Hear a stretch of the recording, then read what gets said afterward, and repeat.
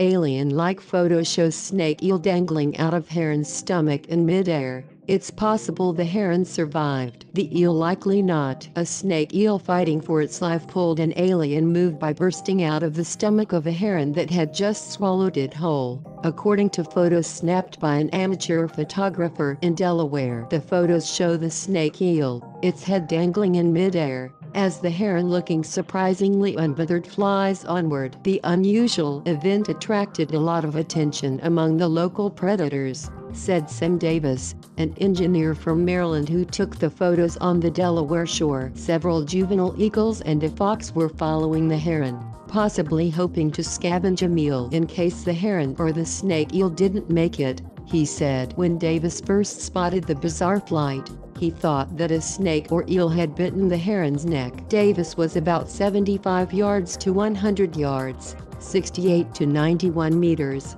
away from the animals, but he had a telephoto lens for long-range photography, and so he shot photos as he watched the heron fly about and even land in the water with the eel still attached to it. The heron didn't seem to act much differently. Davis told Live Science it was in the water and flying around. Meanwhile, the eel was arching its body, so I guess it was still alive at some point. He said it wasn't until Davis returned home and edited the photos that he realized that the snake eel wasn't biting the heron. After enlarging the photos, I could see the eel, you could see its eyes, he said it was actually coming out the other end headfirst. The photos show a pretty amazing sight, said John Pogonoski, an ichthyologist with the Australian National Fish Collection at the Commonwealth Scientific and Industrial Research Organisation, CSIRO, who wasn't involved with the heron and snake eels encounter. I would think this is either very rare or very rarely seen in a bird species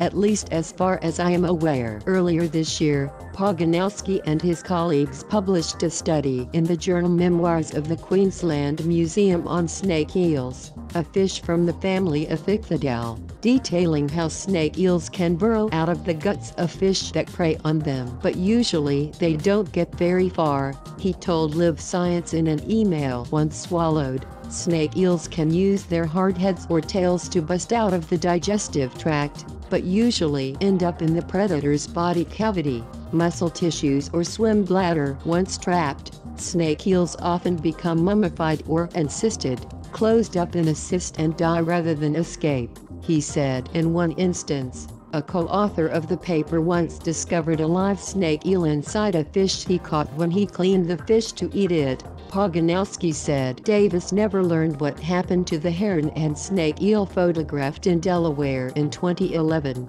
He uploaded the photos to a wildlife site only a few months ago. When he left the shore, the heron was still playing around with the snake eel hanging below it. According to Pogonoski, the heron possibly survived. It didn't look too inconvenienced but would depend on how well the wound healed and if it was able to avoid an infection. As for the snake eel, it would only have survived if it was dropped over or very close to water with the salinity it could normally tolerate, he said.